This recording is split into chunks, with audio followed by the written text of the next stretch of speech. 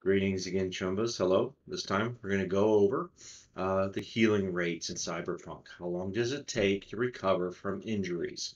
Anything from the gunshot wound, falling down the stairs, mug, getting mugged, getting beat up in the alley, whatever it is, you took some damage, you want to feel better, this is how it happens. Uh, you've got a couple ways you can do it. You can use first aid, uh, you can use medical tech. Depends on what character you have available by the way, cannot heal yourself. Physician heal thyself. That doesn't work in this game, right? You gotta go see a doctor. You gotta go see a ripper doc. Go to the hospital. Go to a clinic. Go somewhere to get medical assistance. Now, hopefully, you had a character with first aid that was in nearby when you got injured.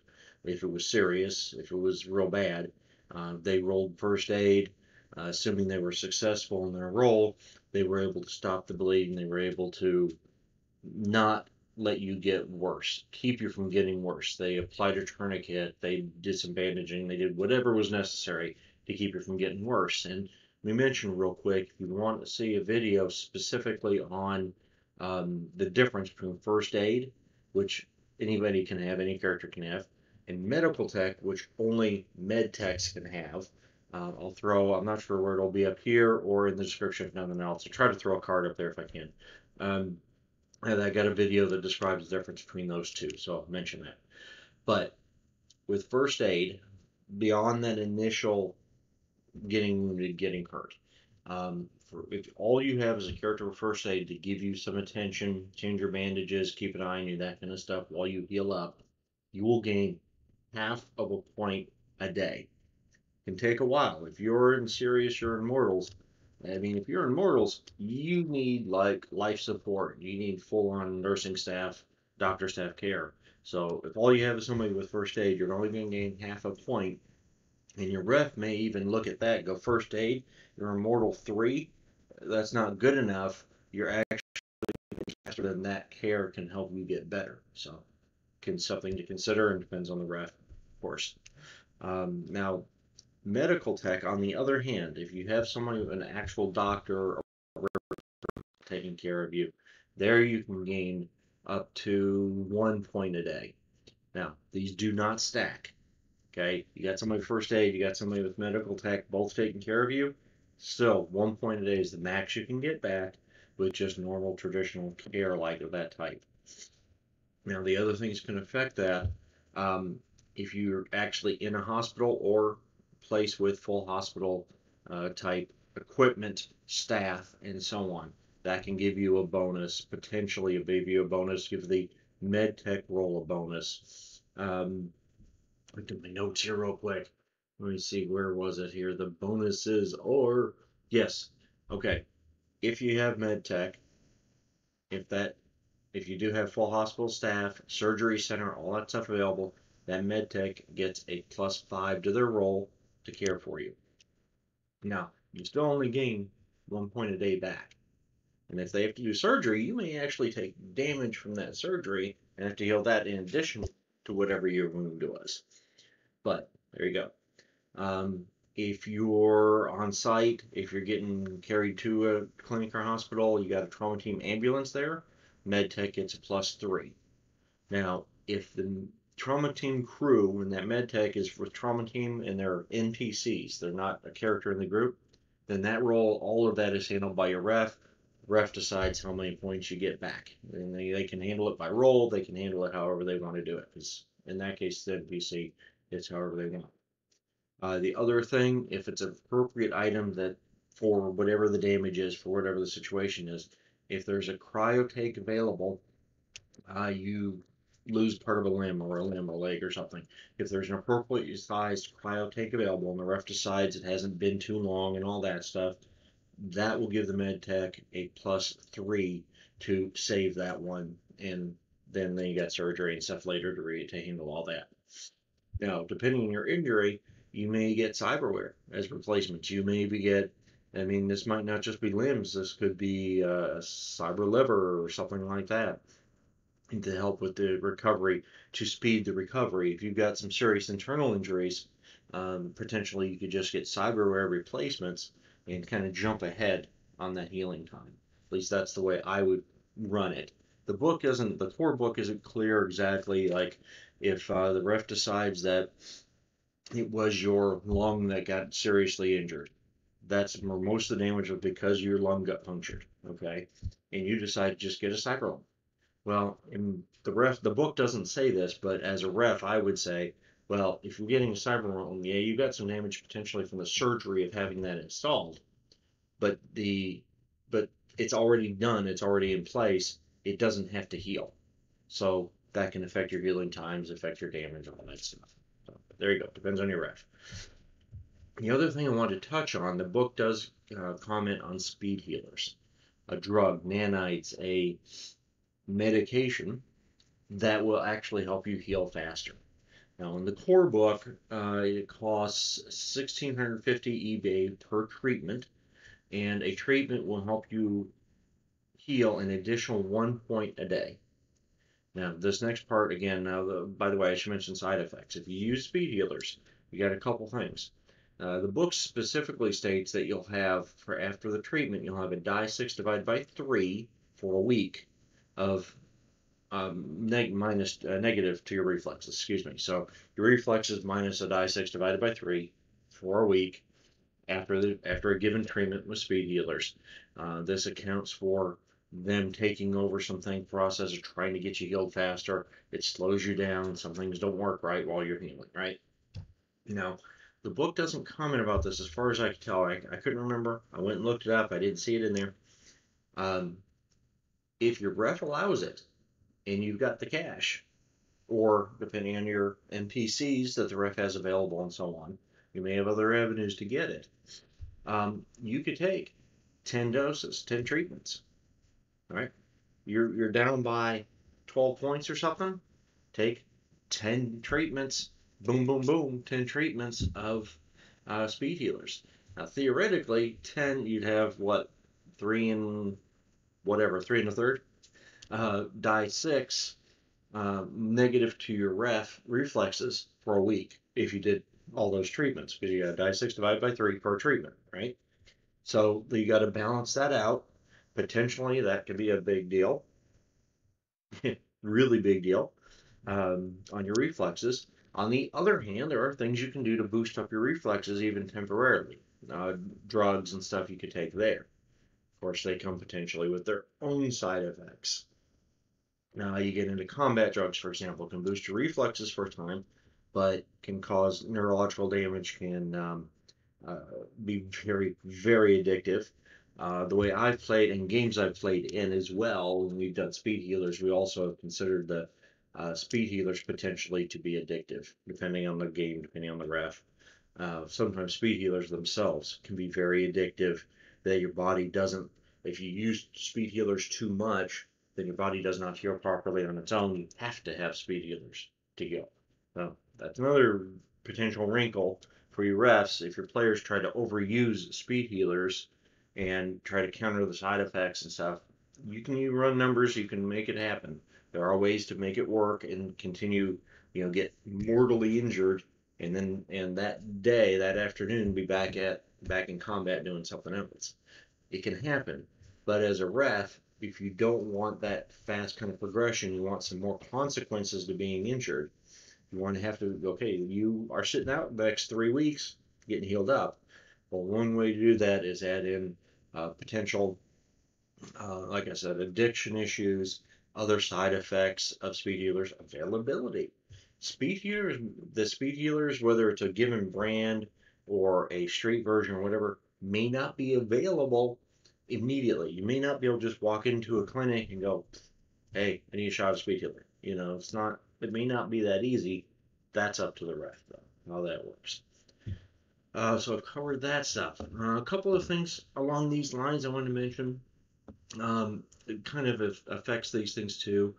If you're getting cyberware or you're or you were injured, you lost a limb, you put it in a cryo tank, your that limb is safe, you decide, well, I'm not going to put that back on. I'm going to get a cyber arm instead. Okay, get super chrome, right, high fashion, whatever cyber arm. If you do that, you have an option to, according to the main book, straight out of the main book, not putting aside whatever your ref wants to do. Of course, they can modify these rules. Um, you can save that limb in a cryo tank in storage indefinitely. Um, according to the book, 100 EB a month or 200 EB a month. You got two levels you can pay for in storage. As a ref, I would add another level or two maybe to that, higher costs, of course. At 100 EB a month, there is per month a 20% chance that somebody that might have access to it, somebody in that company in that storage facility, a 20% chance they might decide to sell it off as parts to somebody else. And you won't find out. You may continue to pay your 100 EB, then some point six months down the road you decide uh, you want to get rid of that cyber arm, you want to go back to meat. Your arm's gone. You never know. But 100 EB a month, you get 20% chance a month that it'll be disappeared. uh, 200 EB a month, and there's it goes down to a 5% chance. As a ref, like I said, I would add another level of that. I might jump it way up, say 500 EB a month, and have a 1% chance, a half a percent chance. There's always a chance somebody somehow is going to get at it. But do a higher cost to have a more secured facility, um, higher standard for employees, background checks, stuff, you know, better chance that it'll still be there when you want it. Um, another uh, couple of things I want to go over uh, the the result, the implications of being wounded, right? If you have light wounds, you're in the light wounds category, basically it doesn't affect you. You know, you're yes, you're hurt, but it's a scratch, it's a whatever, it doesn't affect your dice rolls, right?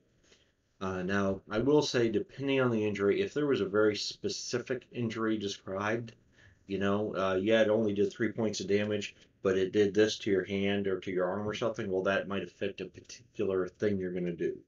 Depends on the ref, if they want to get far into the weeds on that or not, or how they want to handle it. But technically, if you're in light wound, you got no issues, no rolls, no effect on your rolls, etc. Role play it. Always role play it, but it doesn't affect the dice rolls.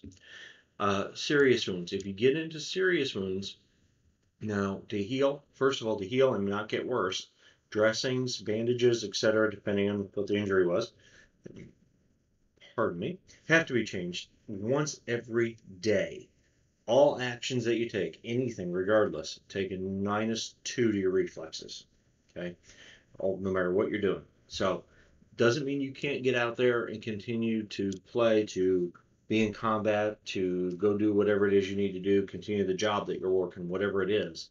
But minus two to all your reflex rolls, and you still got to get some care uh, that could be if there's a, a med tech or a character with first aid in your group that can handle those things, or it might just be you stop by a clinic once a day and pay them a little bit of money. They change your dressings, they get you cleaned up. You continue to heal that point a day. Uh, first aid, of course, half a point a day. Now, if you get into critical wounds, this is a little bit more more of a big deal. When you're in critical wounds, in order to heal, you have to be in bed um, resting, not doing anything strenuous, for at least half a day every day in order to regain those points. If you don't rest, if you don't go just go sit and watch TV somewhere or whatever, something. I, as a ref, I wouldn't say literally have to be in bed necessarily, but you couldn't do anything but sit somewhere, lay in a bed somewhere, and whatever in order to regain hit points. You do hit points this isn't that other game. This is Cyberpunk. They're not hit points. Anyway, sorry. Um, so there you go. You have to rest for at least half a day. Also, if you're in critical wounds, the rest, the other half of the day, you get. That's my nose. I wrote that wrong. You get a negative 40 reflexes no matter what you're doing. But for that half a day, you shouldn't be doing anything that requires a roll because you're supposed to be resting. The half a day, the other half of the day, you can do limited simple tasks. You, you could do some simple things, do some, some basic shopping or something like that, do some stuff on a computer, right? Sim, uh, SimStim, uh, Brain Dance, something like that, whatever. But anything you do in critical wounds is negative 40 reflexes, period, right? Also, your dressings have to be changed twice a day, and you do should have, do need to have nursing care of some sort medical care available. They don't have to be standing over you all the time. It could be you know, you're paying a nurse or a medical person of some sort come in and check on you, or again, somebody with first aid or a med tech in your group that's helping take care of you. Uh, that's critical wounds. Now, when you get into mortal, when you get into mortal wounds, you are bedridden. Period. That's it. You're not going anywhere. You can't. Um, you're going to have stitches. You're going to have major injuries, um, other issues. Okay. At Mortal 3, specifically at Mortal 3 and worse and above, you're probably comatose, 50% chance. Uh, at least most of the time, anyway. Also, if you're in Mortals, you're probably on some kind of life support. You're hooked up to some kind of machine for breathing, for, for respiration, that is, for something. You've got injuries that are so severe, you require serious medical attention just to continue on and to, to heal. Um, constant care is required when you get into this level. Right? You got to have nursing staff, uh, potentially the med tech, the whatever, always just always available. You're you're in CC or ICU, depending on what part of the world you're in, how they might term that. Critical or intensive care is what I'm talking about. In a hospital, you're a ripper docs facility where that's pretty much all there that staff there is doing is taking care of you, that kind of stuff. Now the positive side is once you've been stabilized, you know, in mortals, you go into mortals, you're rolling death saves periodically, depending on your ref, depending on how they count it.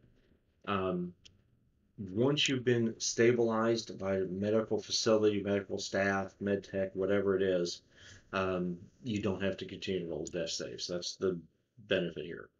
Uh, but again, see, this is where you get, especially mortals, assuming you got the money, this is where uh, speed healers might really come in.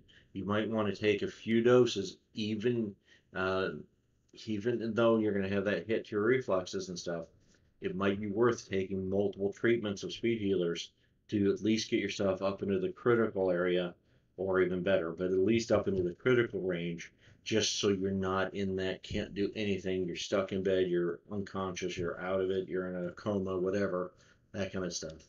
Move yourself out of that area. But depends on the game, depends if they're available, depends on your ref, depends if you got the cash. All right. So there you go that's what I wanted to cover. I appreciate you being here. Check out the other videos. Again, remember that one um, uh, first aid versus med medical tech roles. I've got a video just on that. I'm going to link that here someplace.